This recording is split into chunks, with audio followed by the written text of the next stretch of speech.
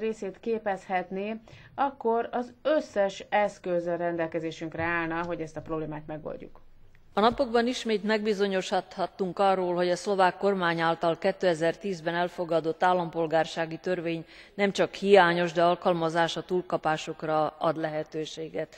Mint ahogy a törvény elfogadása politikai indttatásból történt, politikai célt sejtett az is, hogy Berényi Józsefet, a Magyar Közösség Pártjának elnökét rendőrségre idézték be névtelen feljelentés alapján az eset jól bizonyítja hogy a törvény kitűnően alkalmas az elsősorban szlovákiai magyar ellenzéki politikusok zaklatására akár névtelen feljelentés alapján is. Ezenkvül szeretném fölhívni a figyelmet a szlovák törvényhozás olyan lépésére amely ellentétes a személyek szabad mozgásával a májusban jóváhagyott törvény szerint kihágást követel aki nem jelenti be előre a ninety napot meghaladó külföldi tartózkodást ráadásul büntethető a hatóságok részéről amely nyilvánvalóan ellentmond a személyek szabad eh, mozgásának elvének. köszönöm.